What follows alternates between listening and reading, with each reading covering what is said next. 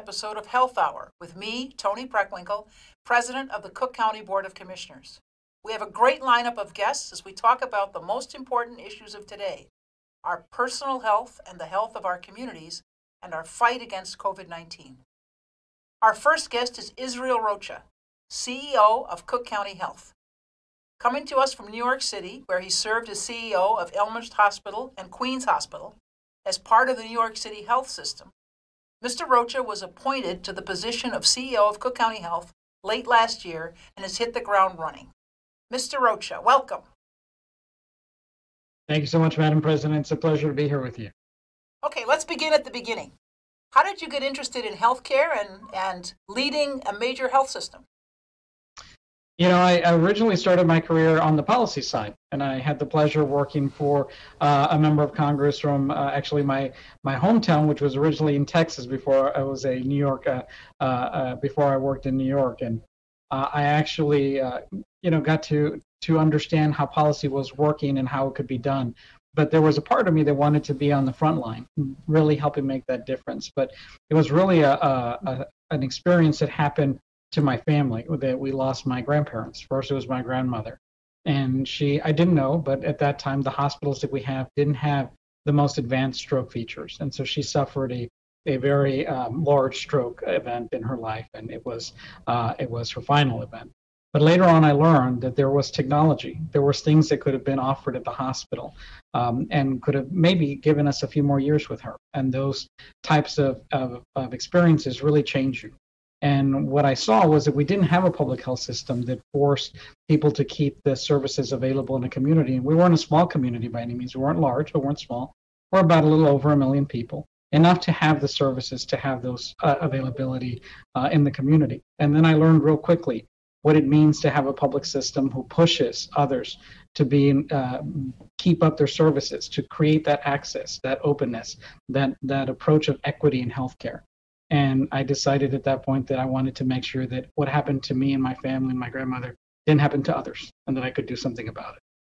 So it was the absence of access to high quality health care that prompted your interest in public health and your professional life. Correct, yes, ma'am.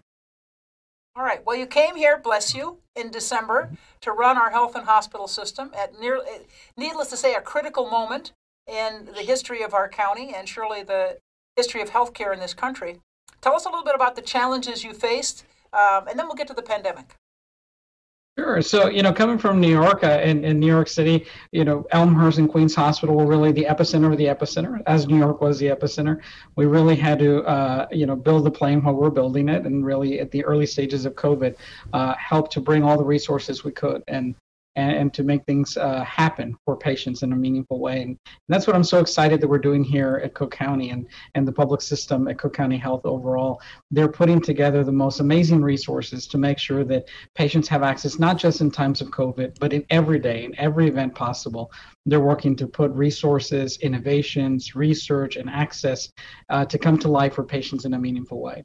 I think some of the struggles are the struggles that we all confront. Uh, we have, we have, of course, we have issues as a system with ensuring that we have the proper resources, revenue, and access to staff to continue our operations.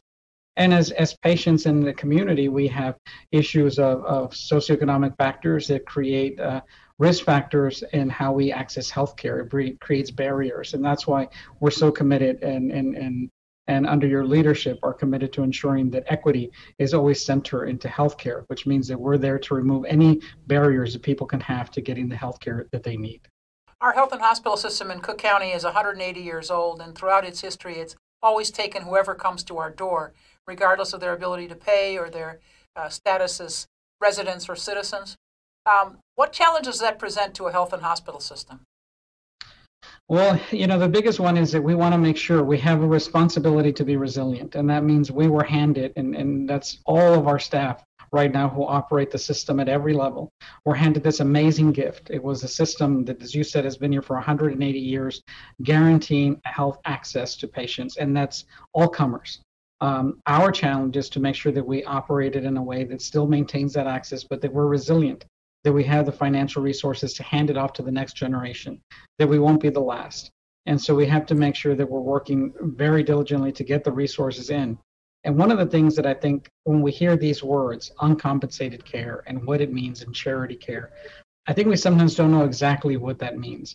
And where Cook County Health is a little different is that we provide health to all comers, not just to emergency services, not just to primary care services, but to the most essential specialty services. And especially for those events that maybe are not reaching the level of life endangerment, but they are reaching the level of life impacting and that they really can change life. And so if it's a if it's a critical surgery or if it's exploratory surgery or the things that you need to find out about your well-being, your body and your person, we're there to be your partner. And it's that access that drives up our cost and we have to find resources and ways to make sure that we can get the resources to cover that cost. So just to help out our viewers, when we look at healthcare, we talk about uh, primary care, specialty care, and tertiary care, which is our hospital system. Okay, explain what what those uh, differences are. So primary care is, is what you see every day when you go to your doctor, when you go to your annual wellness visit, when you have a sore throat, or when you don't know what's wrong with you. It's your first access point. It's a doctor who helps run your critical care, and they're your partner in healthcare. And so they're your primary person that you go to, hence the we're primary care. And then they open up the access to specialists. And in specialists, those are the types of, of people that you find who are very dedicated to a particular field of medicine that also often do surgical or interventional procedures, meaning they actually go in and repair your body physically uh, with, with tools and equipment. And so that is usually like a neurosurgeon, a general surgeon, a urologist, those are the type of specialists that we get access to that help you determine your health. And tertiary is like when you come to the hospital in a very, very serious condition, and you start usually in our emergency room when you are accessing tertiary care level. All right, and, and of course, our health and hospital system provides all three primary care, yes, specialty care, and, and hospital care to our patients. Now, we've been yes, particularly challenged in the present uh, environment by the pandemic. How is our health and hospital system responding? So, you know, uh, again, we're, we're very fortunate to be a public system and that we have the support of, of, of, of yourself and of the, and of the, of the Board of Commissioners who are able to ensure that we have the resources. How we've responded is by hiring additional staff, by bringing the latest medicine that is available in the field, whether it is the latest medicine that is being pioneered to help people be able to have the highest outcome uh, possible. And that means that they're to reduce any negative impacts of COVID, to get them healthy as quickly as possible, and we know that at times, especially in brown and black communities, access to the highest level of care has been limited. However, in this time, in this moment, here at Cook County Health, there is a commitment to make sure that there is no equity uh, lacking in access, that we have full equity for everyone who wants to be able to get the highest level of care for COVID 19.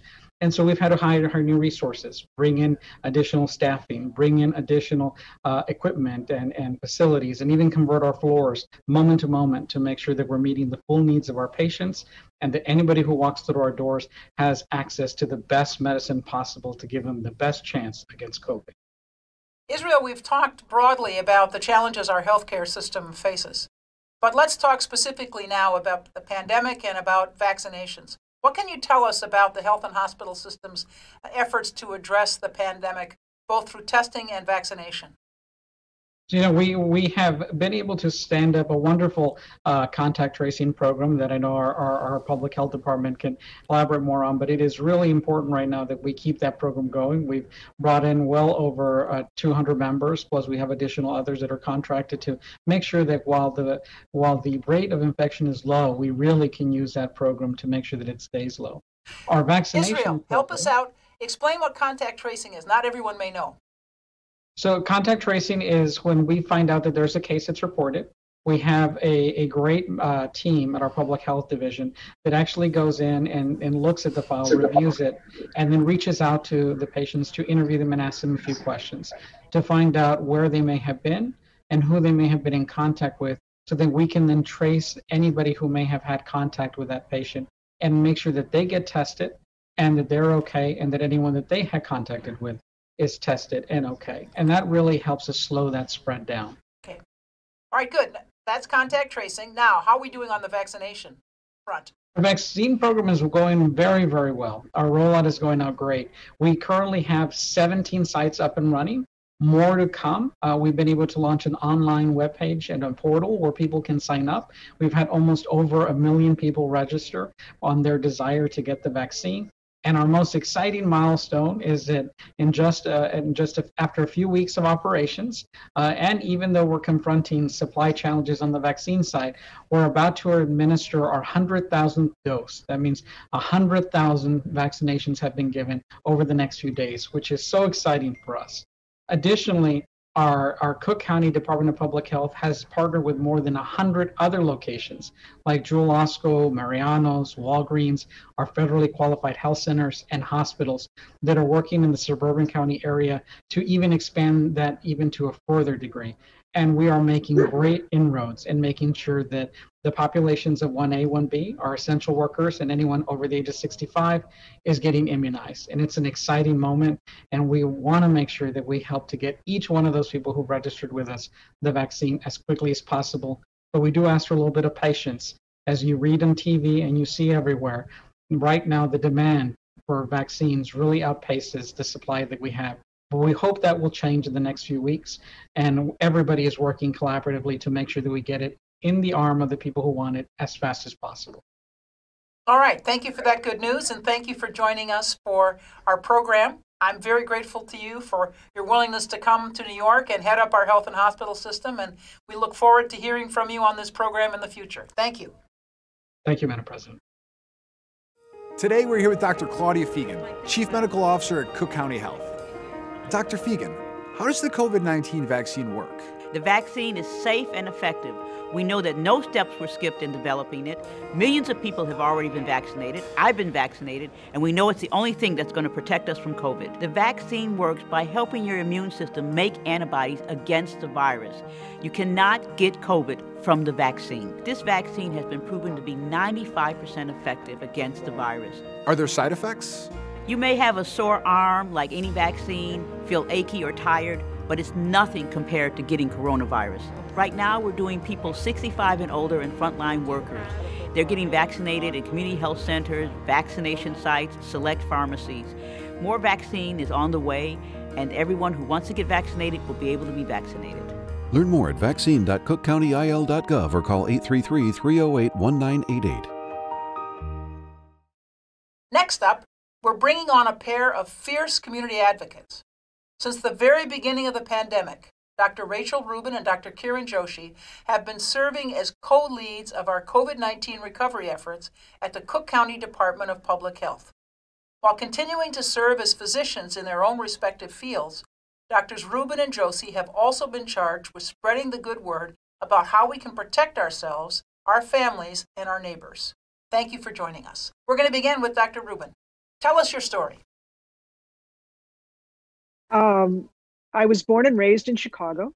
Um, grew up, uh, I was a young child during the time of civil rights and in the late 60s and early 70s, and um, grew up with a, a great sense of, of wanting to be engaged in, in social justice and fighting for, for equality. And so, but I was also sort of a, a math and science nerd on top of that. And uh, when I went to college at University of Illinois, um, I wasn't quite sure that I wanted to go to medical school, but I knew that I would always regret not trying. So when it came time to study for the exams, the MCAT, um, I did that and I got in. And so uh, with an undergraduate degree in math of all things. And when I was in uh, medical school, when you have to decide what field you want to go into, um, I was certainly interested in being a clinician and working with patients on a one on one basis, but I also saw myself at the core as being sort of a, a, an activist, a social activist. And I wanted to choose a field of medicine where I felt that I could be engaged on a community level, not just on a personal level with my patients one on one. So um, I became familiar with the field of occupational and environmental medicine. And at Cook County Hospital, then, as it was called, obviously before Stroger Hospital, they had a joint residency of internal medicine and occupational medicine, which fit the bill for me perfectly. And I also could could remain in Chicago. So um, that's what I did. I was in a joint program of internal medicine and occupational medicine at Cook County and have pretty much stayed within the Cook County health system most of my career, with a couple of years going and working overseas in Southern Africa, and a couple of other years uh, working outside of the system, uh, but being in the system part time. And I have worked in a variety of roles, but basically at my core, doing internal medicine and occupational medicine and working to advocate for my patients and for the communities to bring free and affordable I'm sorry, free and uh, quality care to my patients and to work for social justice issues that relate to health equity um, throughout my career, advocating especially being the occupational end, which is job and environmentally related diseases and illnesses. So being a workers advocate and I and I take that to my to my core, and that's where my public health training comes in. My my master's of public health is in environmental and occupational health sciences, and so about six and a half years ago, um, instead of doing predominantly clinical work, I moved over to our Department of Public Health, our Cook County Department, and have now do clinical work once a week uh, regularly, and the rest of the time I'm doing. Uh, you know, community-based uh, public health. All right, all right. Let's yeah. let let's hear what uh, let's hear what Dr. Uh, Dr. Joshi's journey has been. Kiran. Thanks so much, Madam President. Um, so I am uh, born and raised in the south suburbs of, uh, of Chicago, uh, the son of immigrants um, who came here in the early 70s um, from uh, originally from the town that Mahatma Gandhi was born in. And so was uh, profoundly influenced by those ideas of egalitarianism, compassion, and social justice. Um, and so, really share some of the same um, sensibilities that my co lead does. Um, have uh, gone on to be a product of um, nearly all public institutions from elementary school to college at the University of Illinois, um, to medical school again at the University of Illinois, um, and uh, spent a year as an intern at um, the at the time brand new uh, John H. Stroger Hospital. And what can I say? I you know I, I fell in love with the place, um, and and um, I'm so happy now to be back, um, both with the Department of Family Medicine um, as an attending physician there, where I'm able to do clinical work at Stroger um, which is really the honor of my life, and uh, so now serve as the co-lead of the Cook County Department of Public Health, along with my colleague um, Dr. Rubin. Um, I'm particularly interested in um, how we can look at our data um, to tell the story, uh, the stories I think that need to be lifted up to advance health equity that that is um, that it's not individual behaviors um, it's not culture it's not genetics that are behind the profound differences in health outcomes that we see but rather it's uh, injustice it's structural racism and um, looking at how we can bring to bear the power of our local government to address those issues. One of the disturbing things about coverage of the uh, disparate impacts of the pandemic on brown and black communities is the uh, the perception perhaps that it's uh, that it's our fault that somehow you know we're not taking good care of ourselves and the pandemic comes along and, and just you know wipes out communities. And as you point out that's not the case at all. It's it's it's historic access to health care it's it's uh, inequities in access to health care it's structural racism as you point out. Something important to keep in mind that's exactly right. And there's polling, you know, that was done earlier on in the pandemic that indicated very clearly that, for example, African American folks were much more likely than their white counterparts to wear a mask. So, you know, there's a there are some false narratives out there that I think we can again use the data to uh, to address. Thank you, Dr. Rubin. Help us help us out a little bit. Where are we in the course of this pandemic? I think I would say that we're sort of midway, but the light is there at the end of the tunnel.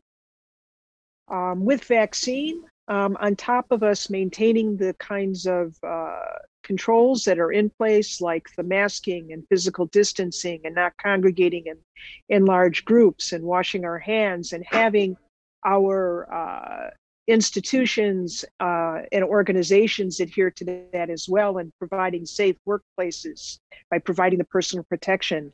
Continuing to do all of those things but vaccine is what's really going to get us over the hump. Vaccine is the only way that we're really going to conquer the pandemic. Does it mean that we're going to get rid of covid-19 as an illness completely? Probably not but it will be a controllable disease and it won't be as uh, life threatening similar to to influenza and as we're now rolling out vaccine, um, I think it's going to take, I would say, we're going to see incrementally improvements throughout the next year for sure. But we have to have the vaccine out and we have to have most people vaccinated between 70 and 80% of the population, and not just in this country, worldwide, in order to get this pandemic really under control. And I think we're on our way to doing that. But we have a long way to go because the vaccine is in short supply everywhere. But we are getting there. For once, I can see some some hope there. Right. I think the important thing to remember of what you said is we've got to get control of it worldwide. And presently, as I understand it, there are 130 countries, 2.5 billion people, in which not one person has been vaccinated. And it's a reflection, as you point out, of the shortage of supply and the fact that developed countries have better access to the supply there is than those countries that are um, struggling economically. Right, absolutely. And you know, we live in you know, our world doesn't recognize borders the way they used to. Travel is is almost instantaneous. Certainly communication is instantaneous. And to say that it's okay for sub-Saharan Africa not to have much vaccine, but it's all right then for more developed countries. That's ridiculous. Um, there's absolutely no uh, reason for that. We need to be looking at this on a global scale. Scale. We need to be helping out our our brothers and sisters and, and siblings and parents, you know, our neighbors throughout the world in order to get a grip on this. There's just no way that we can look at just the United States in a microcosm and think that if we handle it here, that the rest of the world will follow. If anything, we need to be a leader in that movement to providing access to vaccine uh, everywhere. It's a global pandemic. And as you point out, the fact that we are able to mitigate it here in the United States doesn't mean we'll get control of it unless the vaccine is available all over the world. And we're a long way from that. Let's uh, go to you for a minute, uh, Dr. Joshi. These are difficult times. I think a lot of people are struggling with what I would call plague fatigue. Um, how do you stay healthy? Certainly. Um, so I think first, you know, I'm I'm really fortunate. Um, I um, have a position uh, of power. Um, I have a lot of privilege, and I'm really thankful for that. Um, I'm also fortunate to work in a position in which um, I'm able to address what's happening directly, and I think that's tremendously gratifying. Um, I have incredibly supportive leadership um, from the top down, and I have a wonderful partner in Dr. Rubin. Um, I also have an incredibly supportive family. So once again, I'm just so thankful for all of that. In terms of how we cope um, from day to day, I think it's really important to keep perspective and to take time for self care to the extent that one can.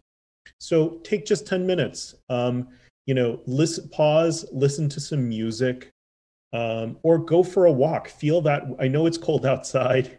Um, I know conditions can be slippery but feel that wind against your face. It could be tremendously renewing.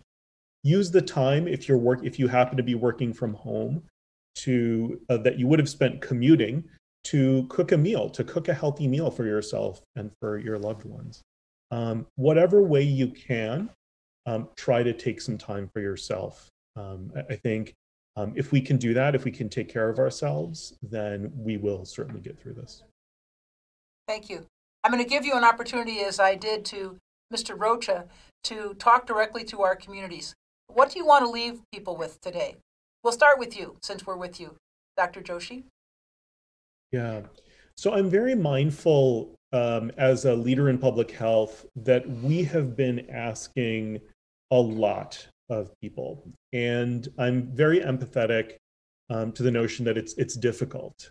Um, but please keep in mind whether it's um, addressing your concerns and fears about vaccination and, getting that shot, um, whether it's wearing a mask wherever you go when you're out when you're around others, or whether it's social distancing.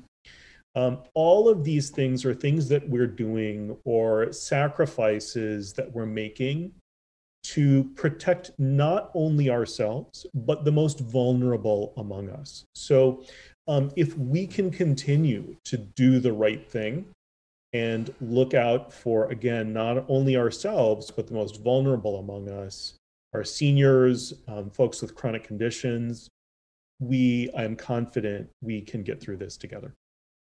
Thank you. Dr. Rubin?